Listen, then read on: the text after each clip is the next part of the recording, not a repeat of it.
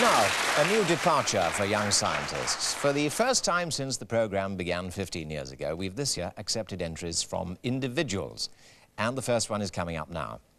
This film takes us to Derby and a very young scientist from Ravensdale School.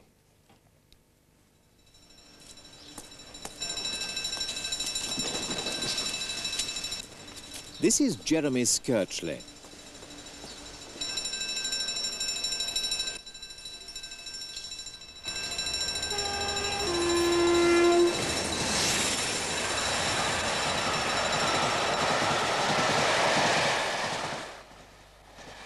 But Jeremy's not here for the trains. He's not a train spotter. He's a bulb spotter.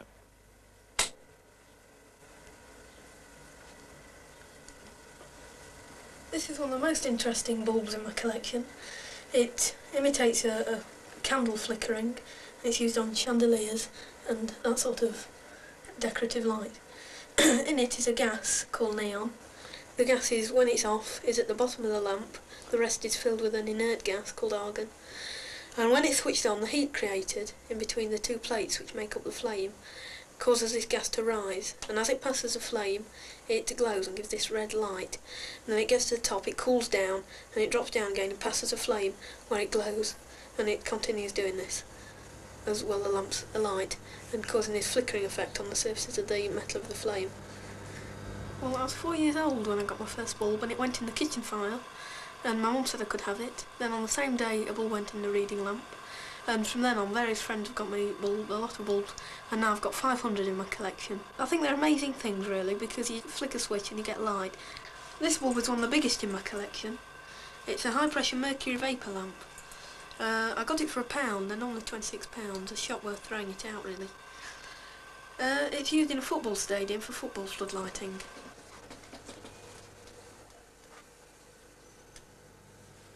This is a standard circular fluorescent light and I don't like the break in it.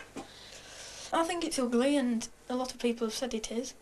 It's really the same as a straight fluorescent light bent round. Now I've always wanted to build one, a circular one, with no break, just a complete circle, no contacts. I once saw a television programme where people were walking under the supergrid pylons with neon tubes and fluorescent tubes and getting them to light. And I wanted to see if this was true, so I tried it. Hey, then let's try those over there, because they're 440,000. Jeremy took his parents out into the fields near their local power station and waited for night to fall.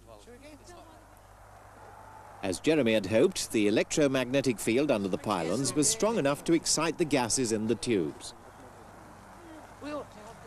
We tried it with the pylons and I thought we'd try it in the lab with a high voltage source. Now I've got the Van de Graaff generator which produces 750,000 volts and uh, that, I'm going to try it with that.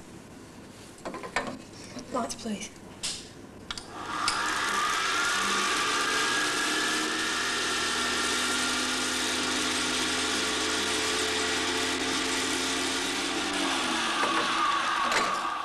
Well that works, that's alright, but it would be too dangerous to have this Van de Graaff uh, and it'd be very expensive to have a Van de Graaff in your living room or in your loft and it'd be noisy as well and there's a danger of the spark jumping on something that might catch fire and setting it to light.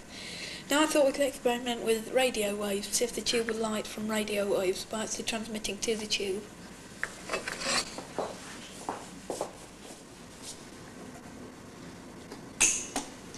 I've got a radio transmitter that operates on 144 megahertz.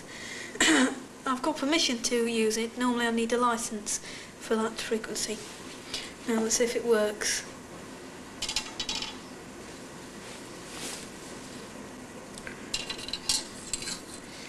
Yeah, it does work. I can light the fluorescent tube from radio waves, but there's one big disadvantage, and that's that the radio waves are going through the tube, but only a few.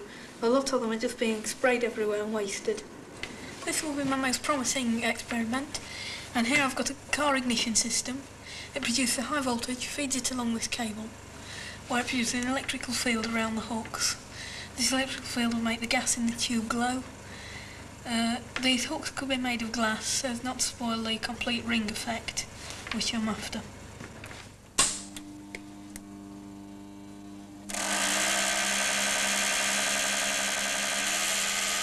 Well, the tubes may be a little dim as yet, but it's clear enough that Jeremy has a very bright future. So, Jeremy Skirchley from Derby is all set for single-handed combat with the three judges. Colin Blakemore to begin. Jeremy, you've made a very extensive study of light sources. Can you tell us a little bit about the, the history of, of lamps? Well, Edison um, was in America and he he started the lamps really. He got a he tried it with a human hair inside a vacuum in a vacuum, but that burnt out. And then he tried it with a piece of bamboo and it worked. He baked the bamboo to make it into carbon and it worked. And at the same time in England, um, Swan um, I've forgotten his first name now, but um, Swan, he um, got at the same time um, a piece of thread, um, sewing thread, in a vacuum, and he baked it, and turned it to carbon, and that worked as well. In, in a tungsten light bulb, um, various brightnesses are achieved from the same mains voltage, aren't they, um, by varying the resistance of the wire, Yeah. which varies the current that's drawn. How would you vary the brightness of your induction lamp?